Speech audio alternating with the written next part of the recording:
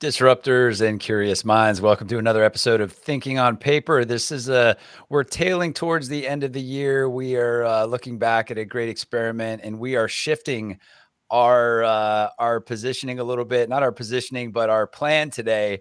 But we are really excited to to shift this plan. My name is Jeremy Gilbertson. I love uh, poking around at emerging tech and trying to connect it with culture to make really cool things happen. With me is uh, Mark Fielding. Mark is a brilliant writer, lore developer. Uh, he actually wrote a book called Apocalypse Daddy. Uh, if you guys haven't heard that uh, yet, but Mark, which they probably haven't. Well, they have now. Mark, what's happening today, bud? Hey, hey, hey, Jeremy. Yeah, I'm, I'm very well. Yeah, um, I'm all those things and very. Uh, quite emotional today. It's our, our last guest of the first season. We may or may not do a show next week, kind of like going over all our guests, 50 odd guests this year. But I'm it's emotional. I'm I'm really I'm, re- I'm really proud of what we've done to get here. Like literally every week for the last year, we've had a, an awesome guest. We've had some amazing conversations. So to get here, yeah, very emotional, very proud of that. And for me, it's been another week of yeah writing. I've been down the the um, the quantum computing rabbit hole again this week. You're like to know. So um, I'm writing a piece on that and how quantum. You know, there's like a, a quantum computer that's actually commercially available now. So you know, it, things are oh, happening. Oh, yeah. Oh yeah. Um, but before, like, I was actually having a conversation. I was supposed to have a meeting with a quantum computer a couple of hours ago. For whatever reason, we couldn't do that. So I fell into Twitter, and there was a, and maybe our guest Luz can tell us about this, but there was a big ledger exploit, and literally on, I don't know if you saw this because you've probably been in bed, but every they're, they're, all everyone's saying don't go on any single Web3 DApp at the moment because there's a, a ledger loop um, exploit that is just draining wallets on dApps. Oh my so gosh! If wow. anyone's watching this live, don't go on any dApps unless it's been cleared up by now. But um, it was the big breaking news this morning. Wow! Wow! Well, before we get into our conversation with our interdisciplinary guest today, um, I want to talk about a couple quick things you see on the scroll down below. Uh, we've started a book club. There's nearly 50 people that are participating in this book club. Uh, we are growing it day by day, minute by minute, and we are increasing the interactivity of this book club. So right now, if you sign up on thinking uh, thinkingonpaper.xyz slash book club, put your email address in there. We'll send you weekly breakdowns of the Nexus by uh, one of our previous guests, uh, Julio Latino. Wonderful book. Uh, we're having great fun doing that, but actually, we're going to start bringing people together in real time for our next book to be announced probably next week. Yeah, before Christmas before Christmas. Um, lastly, we we don't want to uh, forget our wonderful sponsor, Wripple, W R I P P L E, marketing's on-demand talent platform. These guys have been amazing supporters of the show, and they're doing really cool things on their own to stack interdisciplinary teams and lead them and manage them for brands like uh, like Delta, like Equifax, like uh, AT and T. A lot of big companies rely on them. There's over three thousand vetted solopreneur specialists. PS Mark and I are on the roster as well. Um, so thanks to uh, Ray, Dixie, and the Wripple team. Without further ado, Mark, let's get into it. Let's get our guest on. Why don't you give us a great introduction like you always do? Thank you. Um, so, yeah, a lot of our, our, shows of late have been about technical aspects, about brands, and been a bit more business orientated. And I thought it'd be good to end the season with a with a, an, an artist, an abstract artist. I think a lot of our listeners and fans came into Web3 via NFTs, via PFPs, via digital art. That's where the first kind of or second, I don't know, third, fourth wave of people came in. So today's guest, um, Luz Donahue, is a an abstract artist, a digital artist. She's a teacher. She's a rebel. She's a, an fractional CMO, strategist, consultant, um, and has something on her Twitter about living provenance phygital conceptual NFTs, which I'd like to dig into at some point as well. So mm-hmm. yeah, welcome. Luz. Hello. Hi. Good morning. Good afternoon. Good afternoon for me. Good morning for morning for me. Yeah, we got them both. Time is a construct. yeah, we invented it, didn't it. we? We invented it. Like, yeah, let's let's get into presence though. So tell us tell us a little bit about yourself. Just give us give us a a, a little cast of a journey that way we can uh, dive into all these different great aspects that you're involved in with with painting, with teaching art, you know, helping people figure out messaging and strategy and all of that. So uh, yeah, tell us about yourself. Yeah. So, I mean, I'll start backwards and just say that um, I've finally come to terms with the fact that these two practices are actually the same thing, um, which has been a really fun journey of just interacting with the strategy, tech, futurism side of me through the artist perspective and kind of melding those things.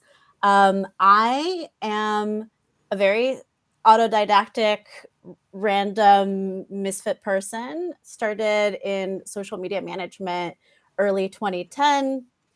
That led to consulting, which led to strategy. And then um, pretty early on, around 2014, was introduced to blockchain technology as a concept on a road trip on a podcast. And then as a joke, somebody gave me a Bitcoin in 2015, and here Someone, I am. A, a, a whole Bitcoin in 2009. Mm-hmm. Yeah, I lost it. We can get oh. into that later. But that was um, in the paper wallet days, you know. So I had like mm. this paper stuck in a book that I hope will change somebody's life one day. I'm sure at a thrift store somewhere near you. Oh it's lucky the, the, perhaps lucky that they only gave you one and not a hundred and can you imagine quite, that'd be quite an emotional um, thing to deal with. Well, well, Luz, here's here's what I, I tend to think about too, because I I live in different worlds and and you know do different things in in I guess different domains is probably the, the, the right way to say it. But like like yourself, it, it took me until recently to actually stand back and go, wait a minute, I'm doing the same kind of thing with just different inputs and different outputs. Like the process is is the same, and I think a lot of people, especially our listeners, um, probably have struggled with that because it's a very uh, single threaded world related to employment, related to finding a job and all of that. Yeah. How how did you how did you balance all of that? And you know what what has happened since you've been able to kind of coalesce the vision? Yeah, I mean that's whew, big question. So what I've realized over time is that the more that I study creativity and I start to really try to understand how things get made the more that I understand that there really isn't any difference in how you make one thing to how you make everything. And then kind of extrapolating from there, I end up in conversations with clients or conversations with even just colleagues and start to see these connections that I can't unsee. The way I got here is I I've been teaching this process that I created uh, around 2016 very long story, but essentially, I was injured and I was doing portraits. I was doing marketing consultant and pet portraits on the side. And um, I did so many over one holiday season that I actually ended up like getting a pretty severe injury in my arm. So I had to develop a way where I could paint without necessarily getting too repetitive in my motions and this is how the painting process was born. And then over time, people started asking about it, and I started to teach these workshops. In the workshops, I would get these people who would come in.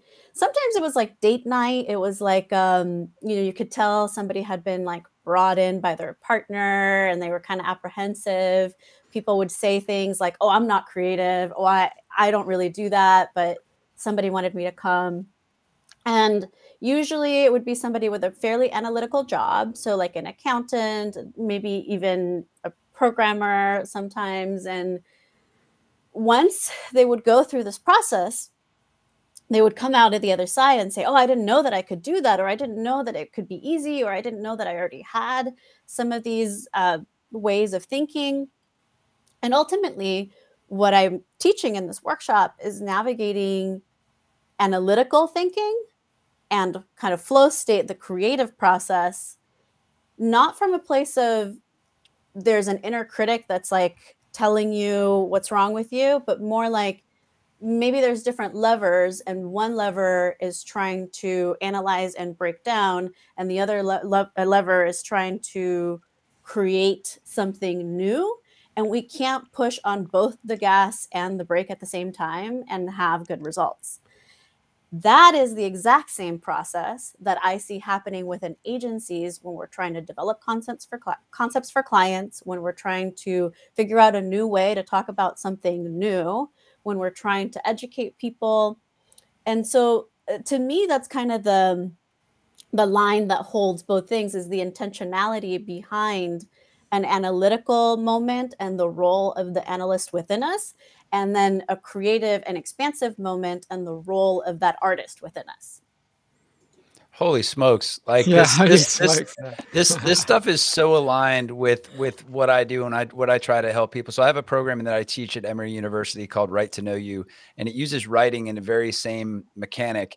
And what i found is like there people tend to be very it's it's ego it ego starts it all right because ego protects us from from being silly. It used to protect us from getting eaten by dinosaurs. Now it kind of serves us in kind of a bad way, right? But would you say like the first step in the process is kind of reduce like reducing the ego enough to be willing to be silly um, or playful, right? Is that the first step? Can I get into my first book? Have you guys seen this book called Play? No. No. Okay. So this changed me.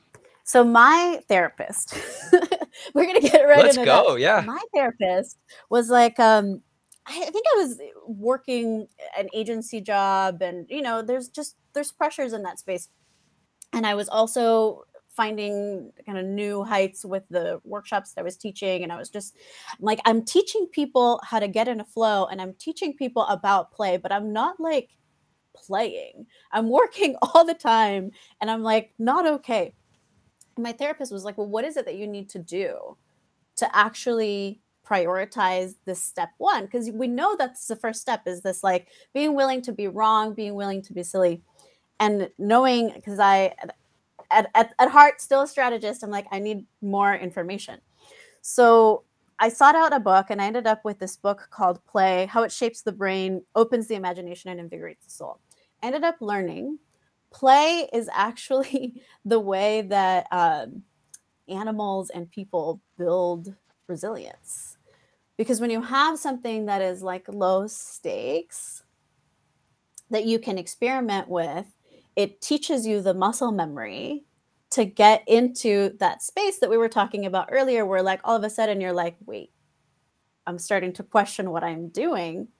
But if you're able to really commit to the bit and really be playful and silly and like lose all of the stuff ar- around that, all of the expectations for a minute, that I think is absolutely key to getting into any creative process at all. And I will add in teams, this is really important and something that I think gets missed. Often people are like, oh, we need innovation, we need creativity, and you need you literally need to be silly. Like wrong answers only, I think is the best way to start. With with play, I always think does it have to does the playtime have to be linked to the task at hand or does play bleed from other situations okay so so for my job i'm a writer this this week i've been writing about longevity and quantum computing and there's not much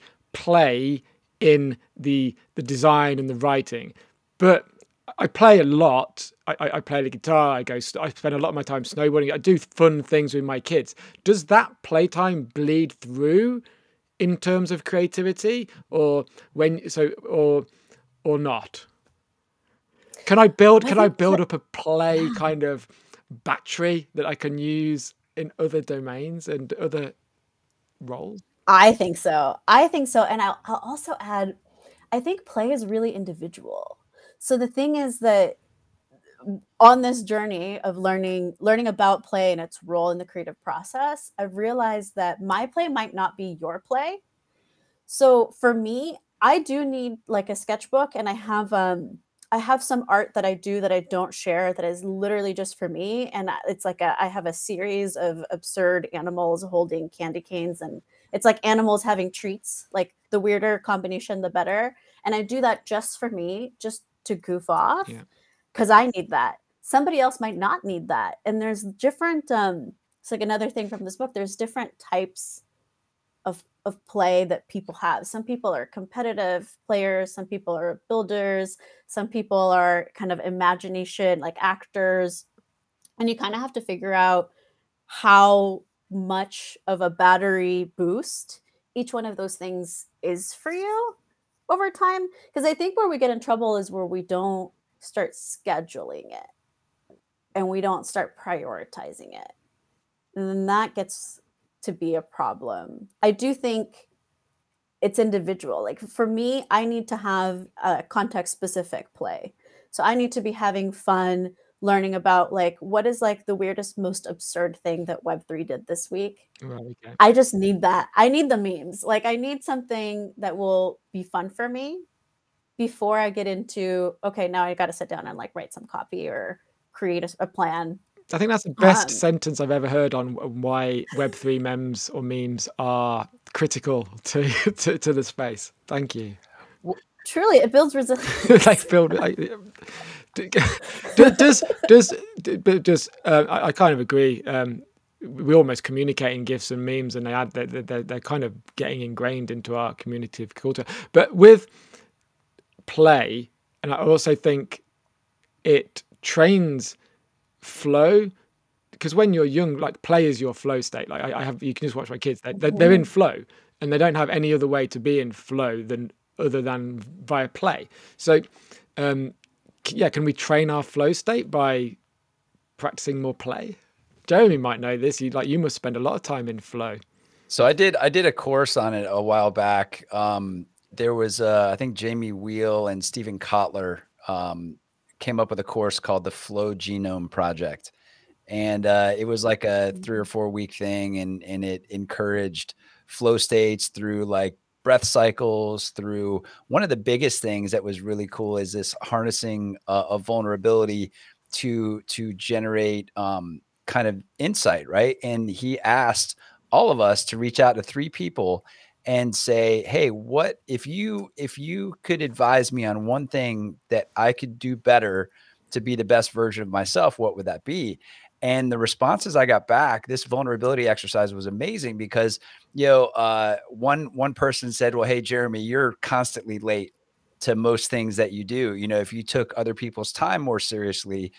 you know you would have xyz results and and a lot of conversation a lot of like recommendations like that at first i was like you know Duke's up, man. I'm I'm never late. Like there's that there's that ego protection thing, but it was a wonderful uh wonderful look into like how I structure things and getting the feedback loop. But yeah, flow is huge.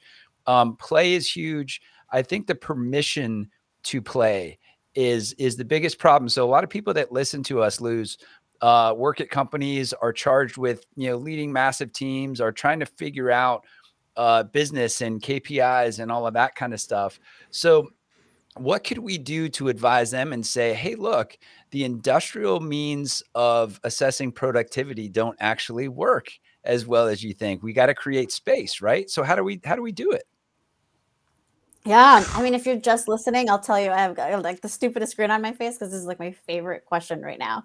Um, to that, so I actually about six months ago kind of came to the realization that this is needed in corporate environments and started to develop a corporate program because that is the problem that you run into like my background is on marketing teams but i've never had a conversation with somebody where they did not have some version of these issues. And i think like to me it kind of to oversimplify this we can go back to that like maker manager schedule giving people time to do deep work and telling them that it's okay to use that day for deep work. But i think it goes a little bit further and it is kind of um con- i'm going to get a little bit woo woo with the language but it's like a container holding issue for leadership right? Like you need to be able to say in this conversation and I, I, I will take on the responsibility as the leader of this team or of this call to ensure that I am maintaining emotional safety in the fact that this is a conversation that is going to stay in that brainstorming play space and that there are no wrong answers and that's what we're doing today and then i will be equally clear when we're having a conversation that is an analytical conversation where it is, it is these are the KPIs, this is how we're measuring them, and this is how we're coming to our conclusions, and this is the framework that we're operating within. I think that we get so caught up in the day to day, especially with the speed of tech, that it's really hard to keep communicating that over and over because it does feel like you're kind of stating something that might be obvious, but it's not. It's not obvious in the context switching world that we're in. Mm-hmm. That if we're entering a conversation, the the space that that conversation is needs to be labeled and it needs to be labeled more than once in the conversation. So, to your point, in terms of having the permission to play, there's a lot of ways that we could do that that are not part of our typical corporate culture or even like startup culture because in that space it's like you're moving so fast but you really have to do it just slow down enough to say you have this day for deep work or in this conversation as a team we're operating from this more uh, creative space like ideas welcome and then in this other conversation we're the numbers are at the top of the hierarchy and this is what we're doing. Because once you start to actually like put a label on those, you remove a lot of the kind of like stress friction. What are people going to think about what I'm going to say? Is my idea the right thing to bring up?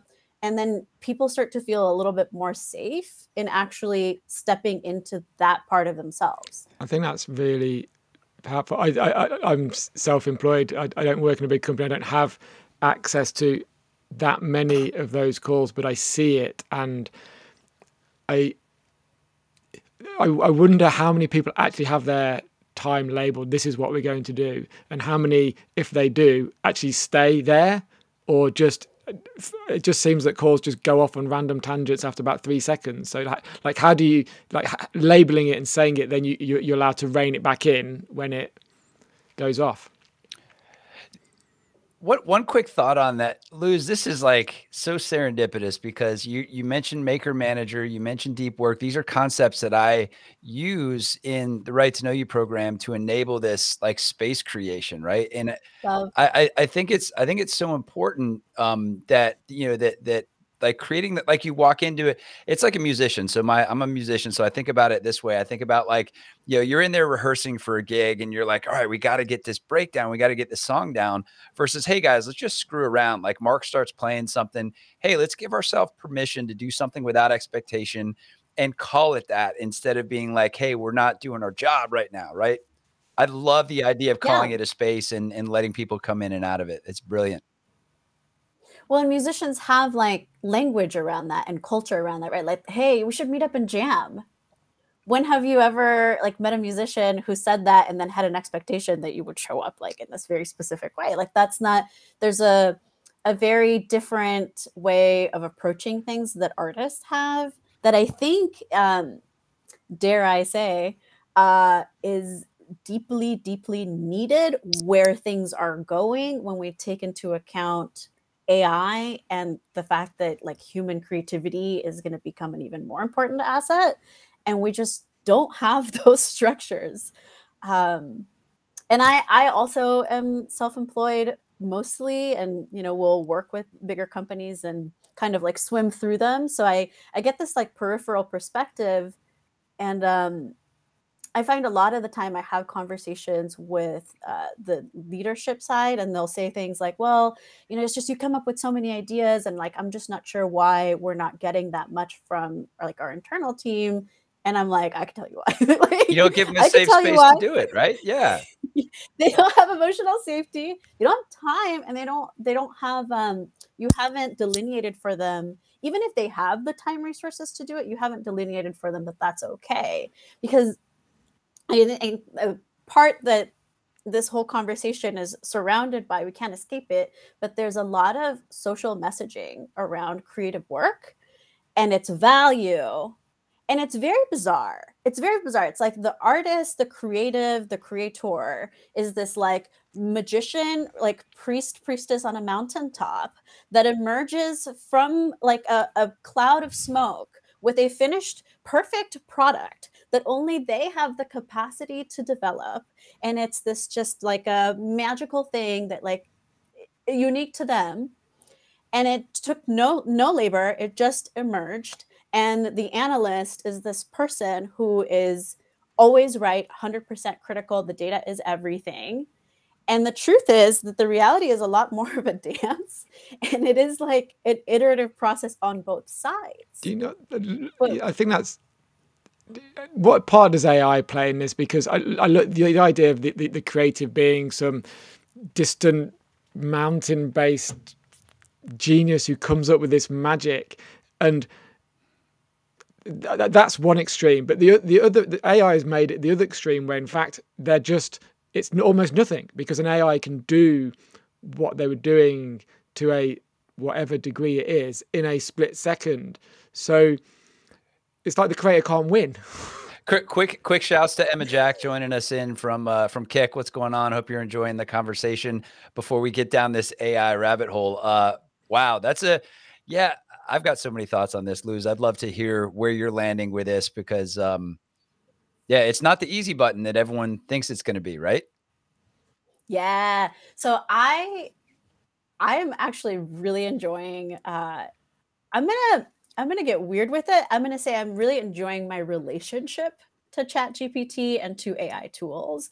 I think that this is key. I I've heard this said other places. It's not like my original concept, but I truly believe that what we are doing with these tools is a relationship to our own thinking. And that's very different than this like easy button concept, this idea that we're going to like replace writers. Um, there's something that, and maybe this is like the idealist, like, you know, artsy poet in me, but I believe the winning of hearts is not something that you can automate. And the reason is because there's, um, not to get like too far down the like, you know, consciousness rabbit hole, but I do think that a thing in humanity is this way that we like move in this like and i'm, I'm going to use the word esoteric and i mean it in the mystical way uh, you know it, we we have this way of being connected to each other that moves and morphs and it's not always something that gets like put in writing or gets documented somewhere or can be uploaded as a framework or a template to something.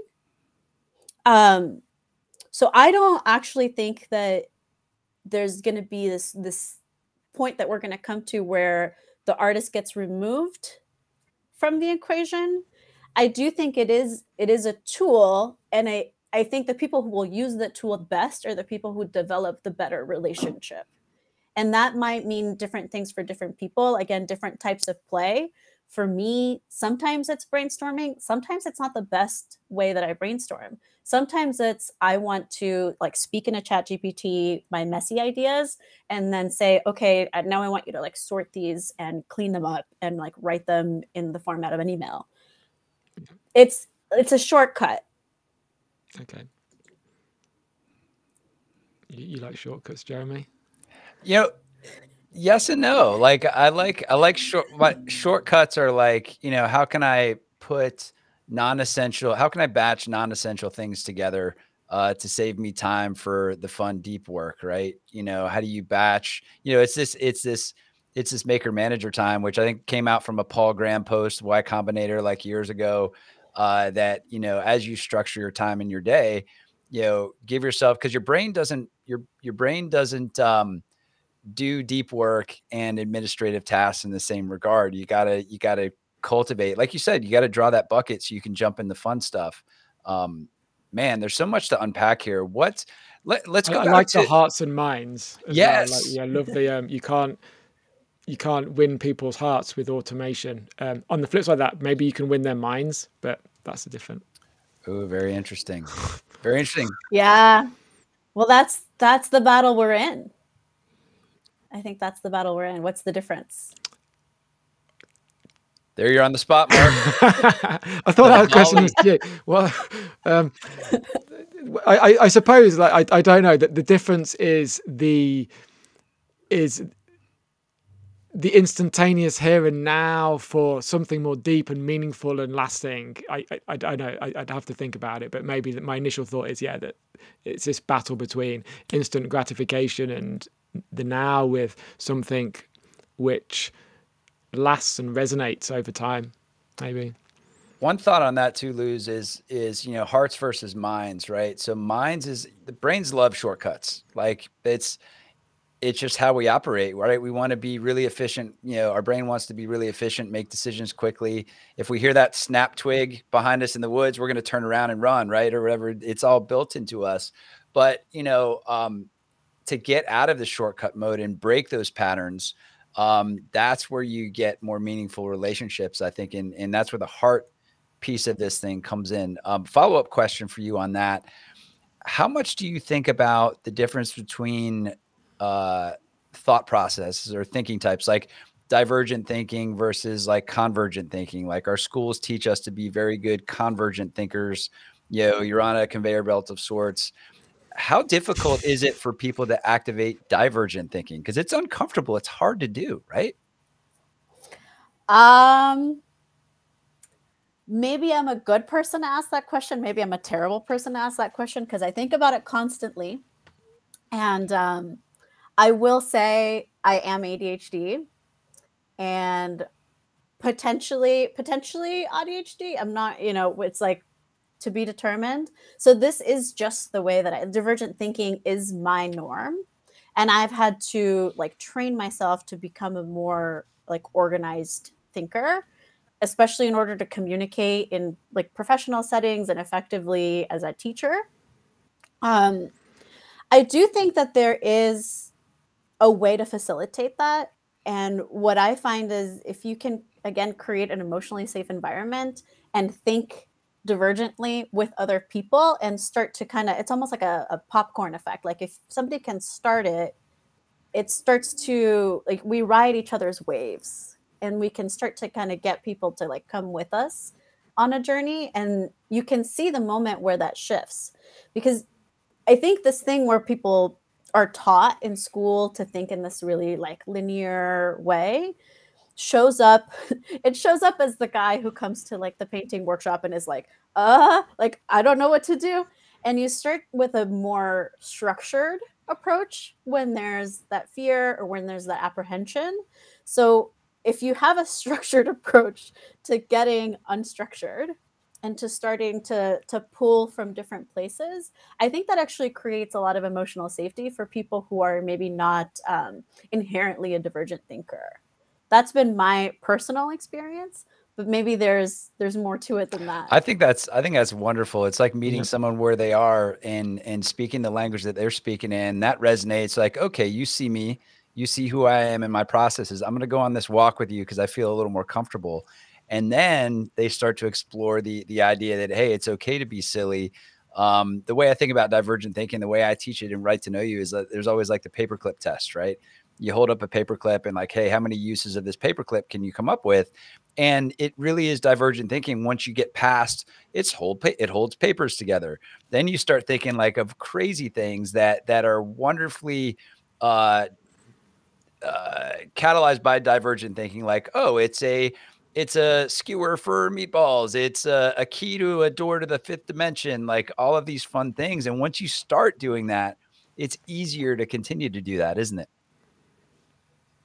I definitely think so. And I think similar to the play thing, there's um, very personal, specific to you, specific to me, how you grew up, how I grew up, how we learned uh, needs around structure.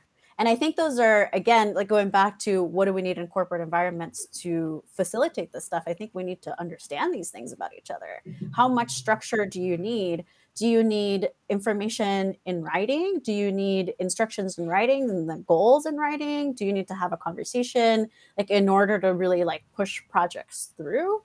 Um like that to me is like the practical version of that is like what is what level of structure does a specific engagement require? In your in your in your consulting world when you get brought into organizations to kind of help you know catalyze creativity or innovation or you know whatever your whatever your kind of starting point might be tell me about the most difficult uh the most the the the, the organization or the person that you had the biggest challenge flipping that switch to show hey, you know, there's creative in all of us. We just got to let loose. Like, how did you how did you address it, and how, what was the outcome? Hmm. Hmm. I'm like, how do I anonymize this? Um, yeah. So here's what I'll say, and I'll, I'll, I'll, this is a little bit general, and then I'll get into like the specifics. I think agency spaces are um, a little more, um, I don't know, like subject to this tension because of incentives. So that's that's a difficult situation all on its own. Um, recently i was like an interim head of web3 for a marketing agency that was working on you know everything from like infrastructure to like nfts to an exchange like you name it.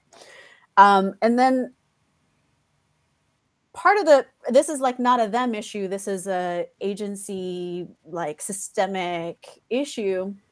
A part of it is you have conversations with the client about what their like needed outcomes are and then you have internal processes that kind of by the nature of the agency, in order for you to be profitable, you have to have some sort of efficiency. And in order to develop efficiency, you have to have a framework and a process within which you work. And so you have to have the structure set up already. The problem comes when you have something that is not like um widget everybody knows, right? Like it's like e-commerce, if we're selling socks or whatever, like it, there's a framework that exists for this that we can use over and over and over again to tell stories that work for selling goofy socks or whatever. When we're talking about things that we have to like educate people on, and then there's a culture around that, and there's a community, and then an ecosystem where there's a, a bridge that needs to be built. I think it's kind of hard um, to kind of break the the mold of the framework without creating a ton of stress. And if you create a ton of interpersonal stress, then you can't be creative because people don't feel emotionally safe. Um, so that's that's the the problem in a nutshell that I've um, thought a lot about. And for me, the way kind of through, and this is this is like a personality thing, but I would come in and I would have like the silliest conversation that I could right off the bat with the team that I was working with. And so literally it would be, okay, we're working on this deliverable, we're under the clock, we've got all these things going on. And I would just like ask questions about like the joy in their lives because it's there's no there's no time right? Like there's no time to like sit here and have like a really broad brainstorm when we have deliverables that are due in like x amount of days and we've got to like figure this out now. But what we can do is we can create some of that play space just by getting to know each other and like being humans with each other for like five minutes before we start to like dive into kind of like the messiness of the moment.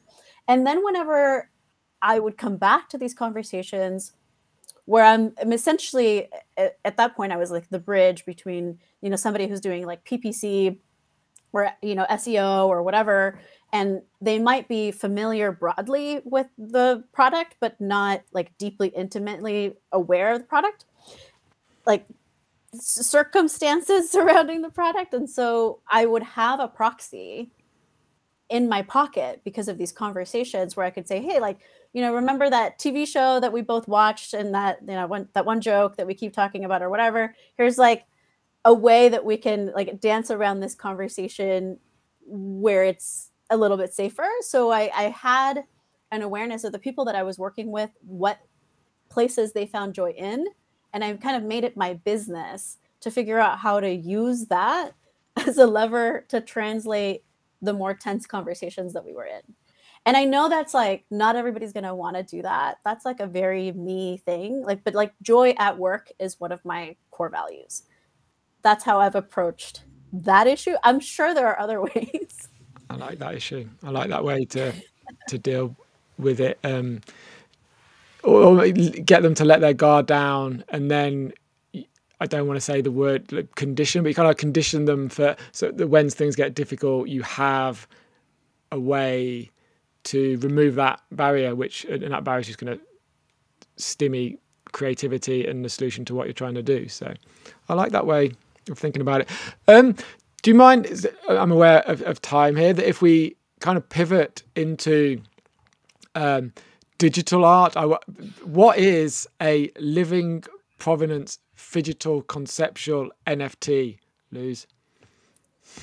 Um, so, in order to answer that question, I need to tell you a little bit about my art process. Um, I work in layers. So, I'll show you really quickly, and I know if you're if you're listening, you can't really see it, but I'll describe what I'm I'm showing here. But basically, I create these paintings uh, that are abstract. They are not planned in any way which means I'm in the moment intuitively responding to what's on the paper. Um, and on the back of these papers, as I sit down for a painting session, I will write down the date and the time. So this is something that um, I am working on trademarking, but it's called the timescape method. And essentially, what I do is create a sort of visual time capsule with the work that I'm doing.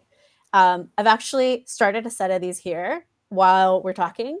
So I can kind of describe to you what that looks like. It's just a little piece of paper where I've drawn a squiggle and I've started to um, just put some watercolor on it.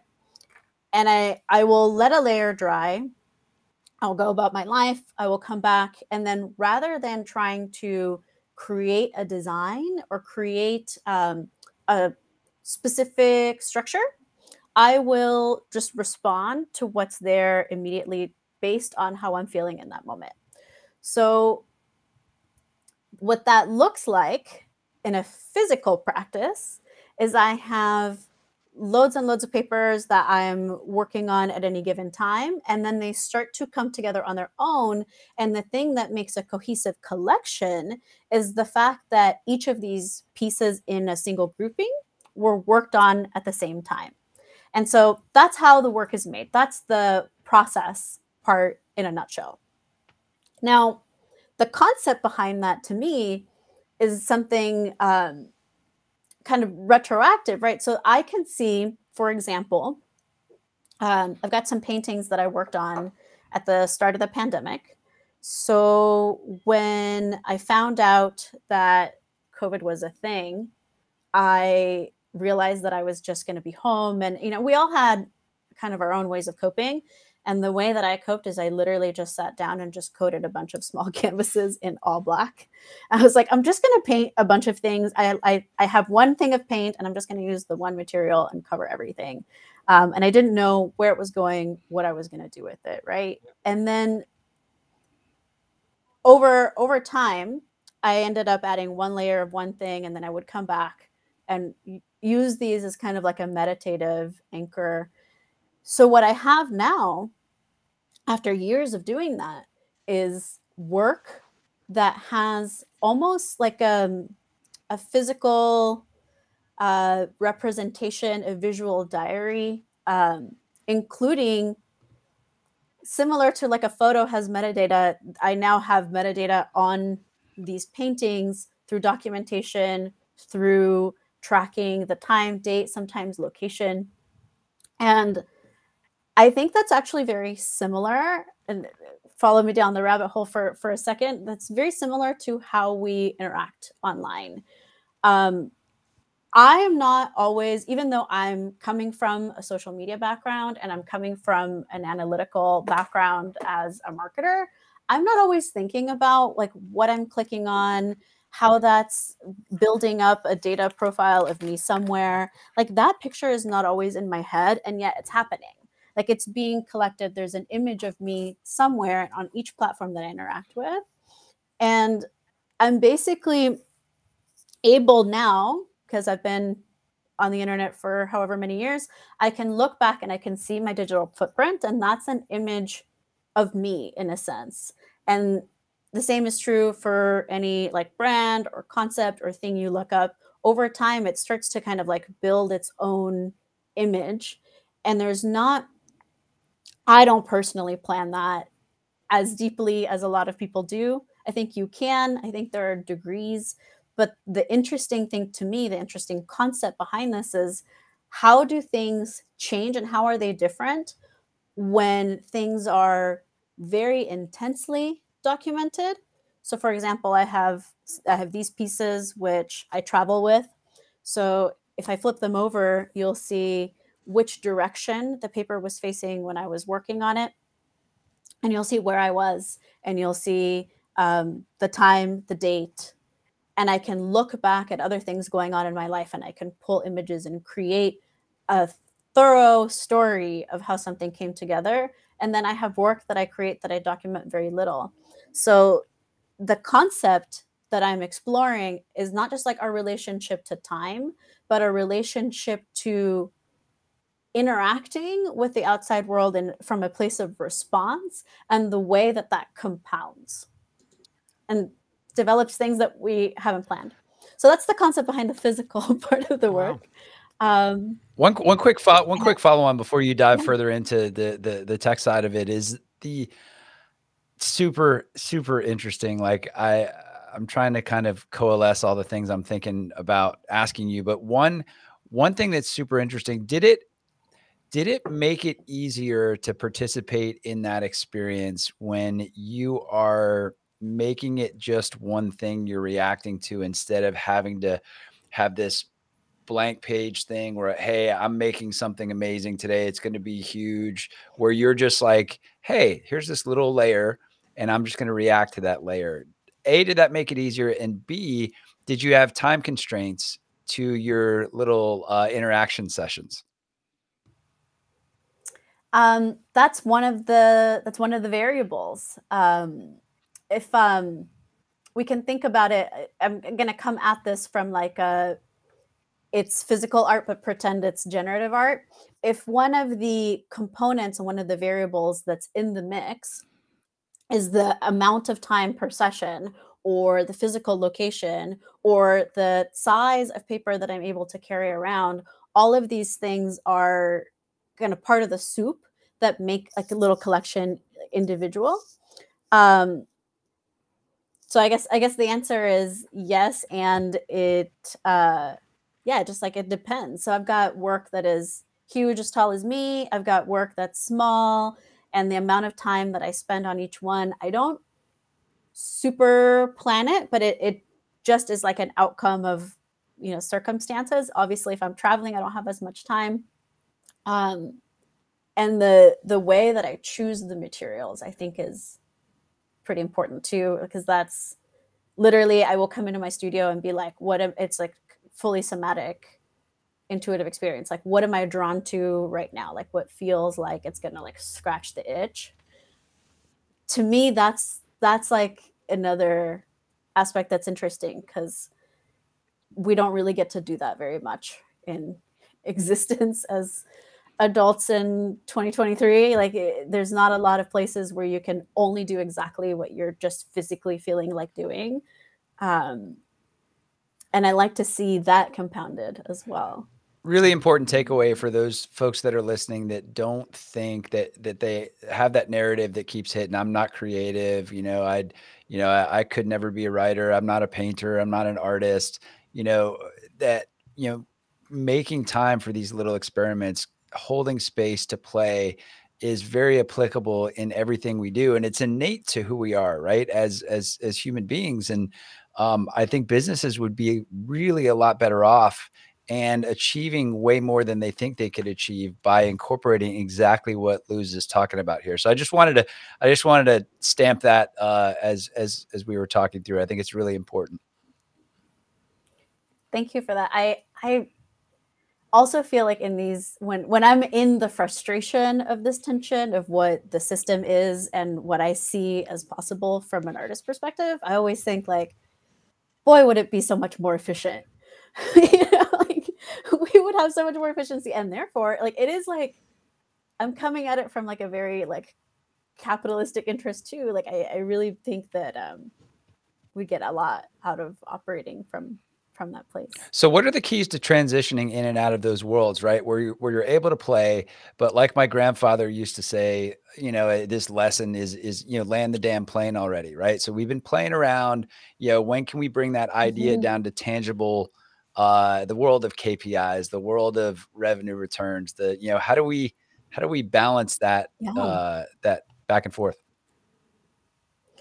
Yeah, so I, I think one of the keys that we have already touched on is this idea of the maker manager conversation. But I think a step further than having a maker manager schedule is we we need to ground our conversations in our intentions. So we need to have intentionality around the container that we're in.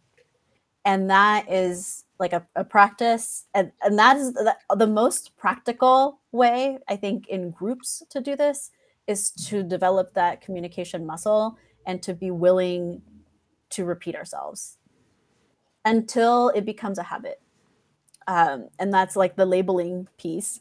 Um, and then beyond that, I think we need to learn a lot about ourselves that we were not allowed to learn because we were taught how structure is supposed to be and how the workday is supposed to look in this like very, you know, first you do this, then you do this, then you do this way. In order to combat that, there's a little bit of like self discovery that needs to happen. And I think people can do it in anything creative that they love, right? Like it could be cooking, it could be gardening, it could be clay or any side thing, where you can explore it even at work. Although I think that's a little bit harder because there's attachments that we have to those concepts. Um, but it's really understanding kind of like your own personal language around creating, not just from what you imagine to be creative, but just literally making anything happen. Like, what do you literally need? Do you need things to be written down? Do you need to um, have like a little friendly competition? Like, what are the the building blocks of your kind of creative persona? We don't really understand that about ourselves unless we are people who are dedicated to a craft for many many years. And a lot of people don't have that privilege. And so i think creating spaces where people can explore that and where it's okay to have those conversations is really really important. To me the practical is communicating the need and communicating the the cognitive space that we're in together so that we're using the same lever together I like that. Um, sorry, my, my uh, I have to close the loop on your art. I have to go back to it yes. because um, so you have your your your piece of art with all of your personal metadata on it when it was taken, which angle is that, how long you spent on it, where you were. Then what happens? Mm-hmm. So I will take the work, I'll show that work. This piece behind me, um, I did um, for a museum exhibit uh, in 2022. So uh, metaphorically, we're, we're just going to point to this one. But if you if you purchase a work, what I will do is I will then take all of the metadata that exists and weave it into a story. So the format for eh, like, if you want like know the explicit like NFT details, the format is there's an NFT of the image, but then behind the image are unlockable files that are the literal inception to completion of that story from every point of documentation that I have.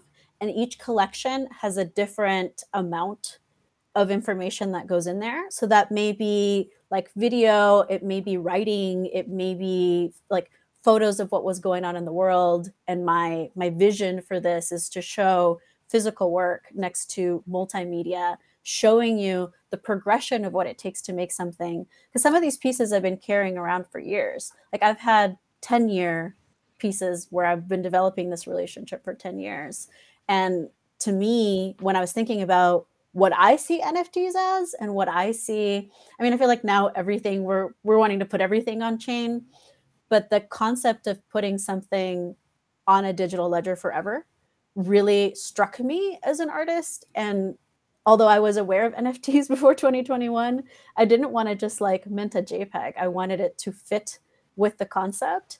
And so the way that this is fitting for me now is um, to make that moment of minting the physical piece part of the relationship that I have, not just with that collector, but with the collection of work.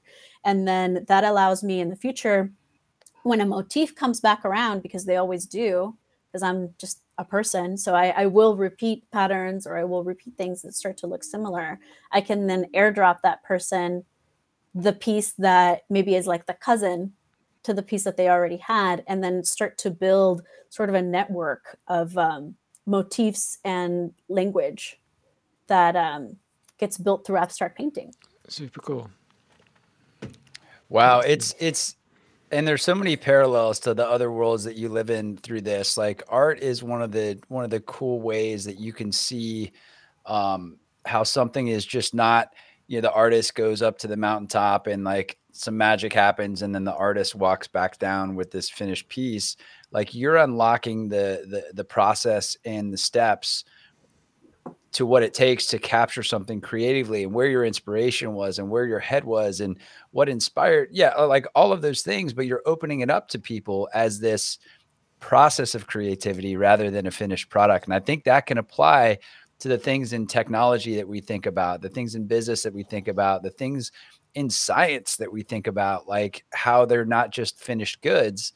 There's a whole meaning and story uh, that's important that we can learn from as well. Brilliant.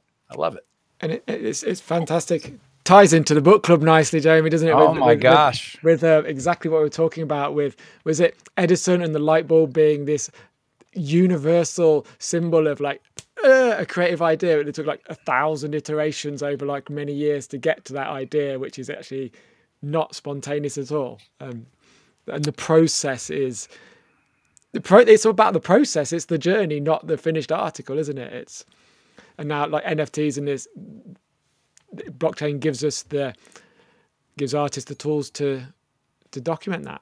Um, it's pretty powerful.